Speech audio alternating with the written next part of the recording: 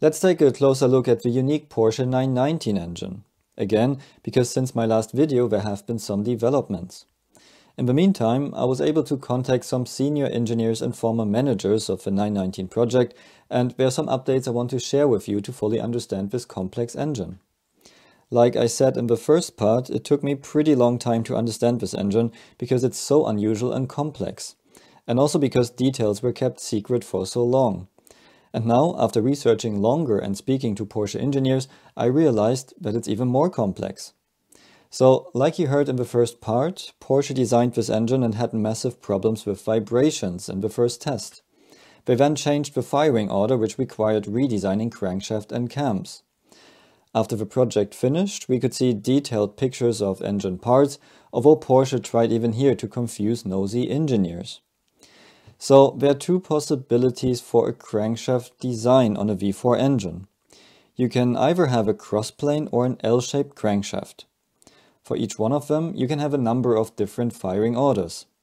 So my initial thinking was that Porsche surely started off with a crossplane crank and just changed to another crossplane with different firing order to cure their vibration problems. Because an L-shaped crankshaft would definitely create vibration problems, and they would not have chosen that. But as it was confirmed to me now, Porsche did exactly that. They started the project with an L-shaped crankshaft. So let's take a look how this works. In this graphic you can see the engine in front view with the two cylinder heads. In the top right corner you see the engine in top view. Note the strange positions of cylinders here, as cylinder 3 is the first one, cylinder 2 the last one. For more info on that, check out part 1 about the 919 engine. At the bottom right corner we see the crankshaft with 5 bearings. So at 0 degree we start with an ignition in cylinder 1. Because it's a 4-stroke engine, we need 720 degree for 4 strokes, and since we have 4 cylinders, we divide 720 degree by 4. So 180 degree later we should have the next ignition. We now want to fire a cylinder on bank 2, and have two possibilities. In order to spread load evenly across the engine, we decide to fire cylinder 4 next. Another 180 degree later we fire a cylinder on bank 1 again, and then the only one available is cylinder 2, because cylinder 1 just fired 360 degree ago. And 180 degree later, we fire the remaining cylinder 3. So a possible firing order for this L-shaped crankshaft and firing in a cross pattern is 1, 4, 2, 3. So this is how they started their 919 project and they simply couldn't balance the L-shaped crankshaft. And as we guessed right in the previous part, it was now confirmed to me that they then redesigned the engine to a cross-plane crankshaft. And here we could see pictures of the disassembled engine which confirmed that. We can see the crankshaft where Porsche swapped the positions of the pistons to confuse anyone who tries to understand this engine but not with us. We can clearly see how for a clockwise rotation, if you look from the front, after cylinder 1, follow the crankshafts for 4, 2 and 3. If we now put that in our simplified graphic, we see a cross-plane crankshaft where cranks are positioned in a clockwise rotation with 1, 4, 2, 3. With this crankshaft we can now work out the firing order. We start with cylinder 1 and 180 degree later we could ignite either cylinder 2 or 4.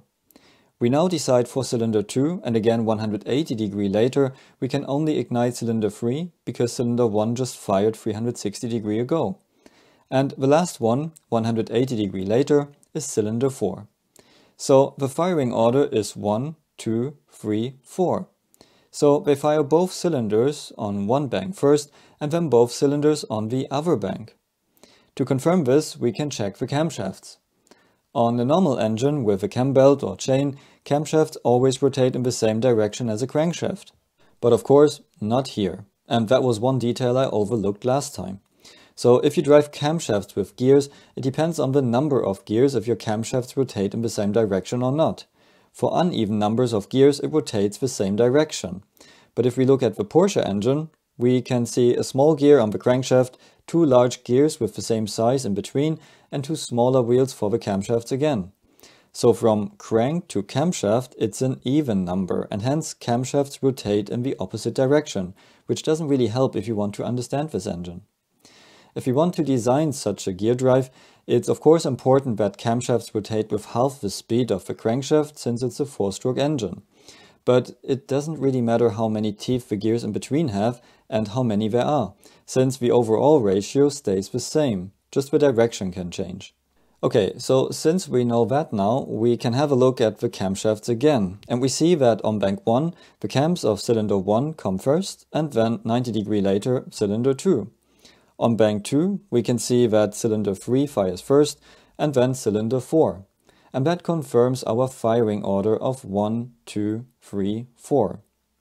So this engine is really a very special design, and one which generated huge success for Porsche.